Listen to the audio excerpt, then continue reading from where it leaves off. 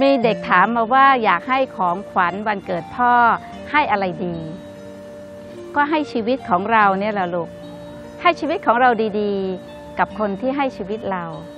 พ่อให้ชีวิต พ่อให้ทั้งหมดของชีวิตเรานะจ๊ะถ้าเรารักพ่อ เราอย่าทำตัว ให้เป็นคนที่ทำให้พ่อหนักใจลูกพ่อจะหนักใจและเหนื่อยใจกับพฤติกรรมอะไรของเราบ้าง เด็กๆก็รู้ดีอยู่ ถ้าเรารู้ว่าพ่อเหนื่อยใจ เพราะพฤติกรรมอะไร ที่เราก็รู้ว่าเราเปลี่ยนแปลงได้ เพื่อให้คนที่เรารักเบาใจ นั่นคือความอาถรรพ์ที่สุดที่ลูกจะให้กับพ่อได้ ไม่ต้องใช้เงินทองเลยลูก แต่ใช้ความรักที่มีความเข้าใจ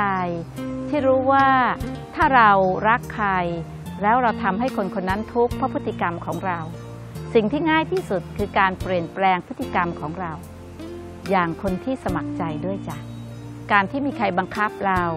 แล้วทำให้เราต้องทำอย่างนั้นอย่างนี้มันอาจจะทำไม่ได้นานจริงไหมลูก แต่ถ้าเรารักใคร และความรักของเราทำให้เราเปลี่ยนแปลงพฤติกรรมของเรา เพื่อทำให้คนที่เรารักมีความสุขใจ เราก็จะสมัครใจทำอย่างยั่งยืน ถ้ารักพ่ออย่าทำให้พ่อทุกข์ใจนะจ๊ะและเวลาที่เราเห็นพ่อเหนื่อย เราอาจจะเข้าไปกอดพ่อแล้วถามว่า ถ้าพ่อไม่เข้าใจในสิ่งที่เราทำพ่อให้โอกาสเราที่จะได้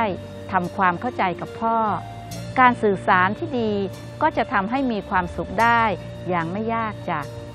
ของขวัญที่มีคุณค่าทางจิตใจ เช่นนี้ ต้องอาศัยความเข้าใจในรักนะจ๊ะ บอกรักพ่ออย่าเก็บไว้ในใจลูก สื่อสารกับพ่อ แล้วก็พร้อมที่จะมองเห็นว่าคนที่เรารัก รักเราอย่างสุดหัวใจจ้ะ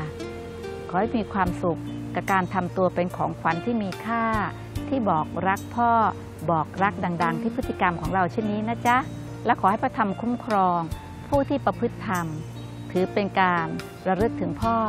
ในเวลาที่พ่อมีชีวิตอยู่ และโปรดระลึกรู้อยู่เสมอ ว่าสิ่งที่เรารักอยู่กับเราสั้นลงนะลูกอย่าทำอะไรตอนที่สายไปแล้วนะจ๊ะรู้ทันทีก็ทำทันทีลูกความรัก ที่มีพฤติกรรมที่เปลี่ยนแปลงได้ทันที ก็ถือว่าเป็นความรักที่ทันสมัยที่สุดลูกธรรมสวัสดีนะจ๊ะ